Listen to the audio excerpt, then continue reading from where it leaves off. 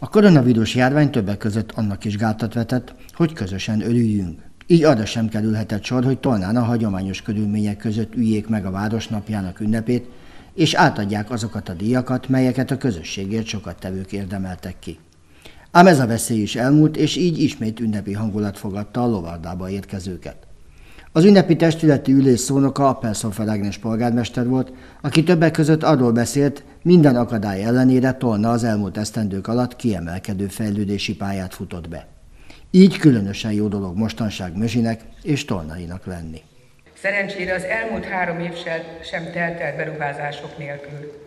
2019 májusa óta befejeződött a Tolnát Faddal és Domborival összekötő kerékpárút megépítése, átadásra került a Dunaparton az Altaripa Szabadidőpark, megszépültek az iskolák, óvodák, épültek játszóterek Tolnán és Mözsön, felújítottunk két civilházat, megnyílt a játszóház a városban.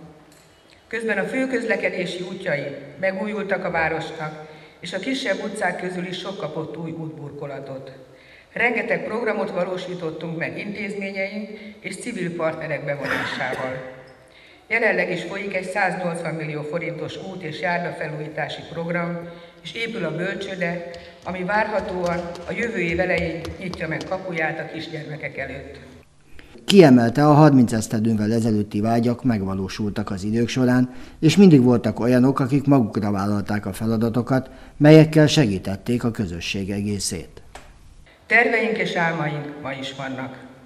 A ma teremtő lendületét meg kell ragadnunk, hiszen nem tudhatjuk, mit rejt számunkra a jövő, mikor milyen irányba változnak az ország, a város életét befolyásoló tényezők. Mint tudjuk, a történelem és az élet nagy forgatókönyvíró. Már az én generációm is számos csodás és sok lesújtó változásnak volt tanúja.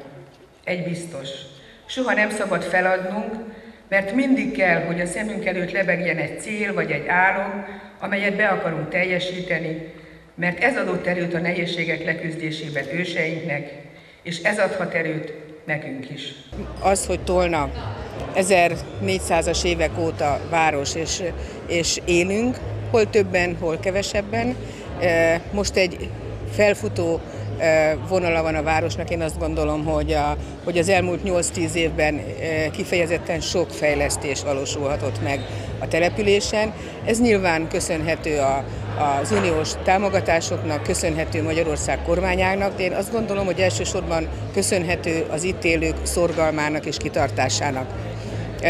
Én a mai alkalommal gyakorlatilag minden itt élőnek megköszöntem azt, hogy kitartottak, a bajban is, a nehézségben is, a betegségben is, de mégis volt közöttük olyan, aki egy kicsit többet tett, mint a többiek. Ma ezeknek az embereknek köszöntük meg a, a, az, az elmúlt év vagy az elmúlt éveknek a, a munkáját.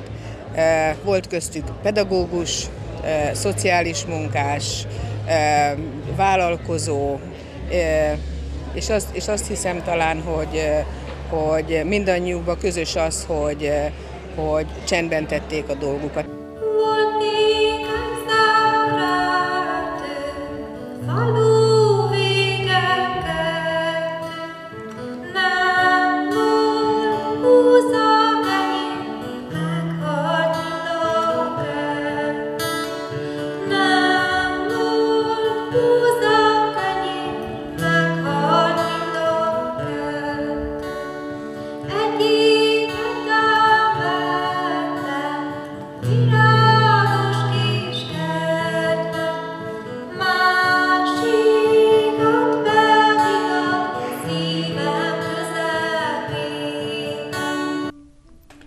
Ebben az esztendőben nyolcan vehették át elismerésüket ki saját munkája eredményeként ki egy civil szervezet képviseletében.